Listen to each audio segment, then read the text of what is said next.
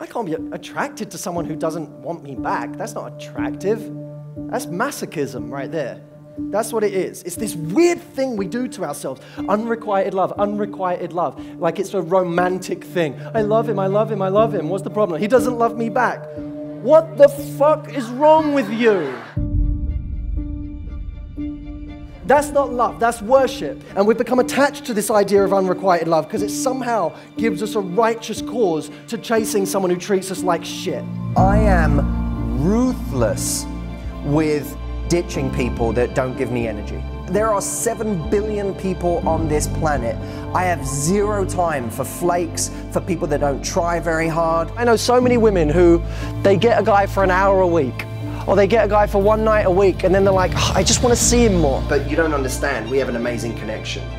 We're, you know, we're great together. When we're together, it's, it's, you know, it's, there's fireworks, there's chemistry, we have such a great time. Well, that's a really dangerous thing to base investment off of. When I invest a little bit, does he meet me there? Oh, I'm attracted to you? Okay, let me invest a little. Do you invest back? Oh, you did? Okay, let me invest a little bit more. I don't think relationships are easy, but the part where you say, I want to see you, and he says, Yeah, I want to see you, that should be fucking easy. Relationships aren't always equal, but they can't always be unequal in the same direction.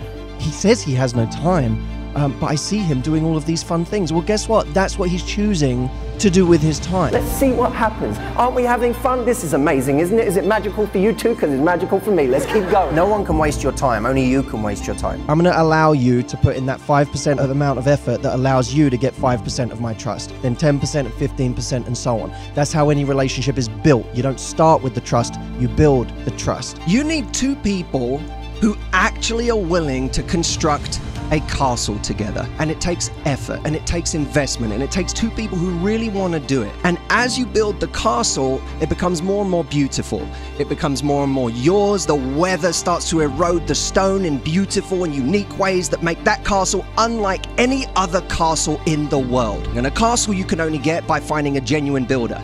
You don't have a builder, you just have a connection. The right question is where do I sit right now on his list of priorities? But there is a difference between liking someone and respecting someone. And when you talk to guys, measure them based on their investment, not based on what you want them to be. The message is so important that it will save people decades of wrong decisions.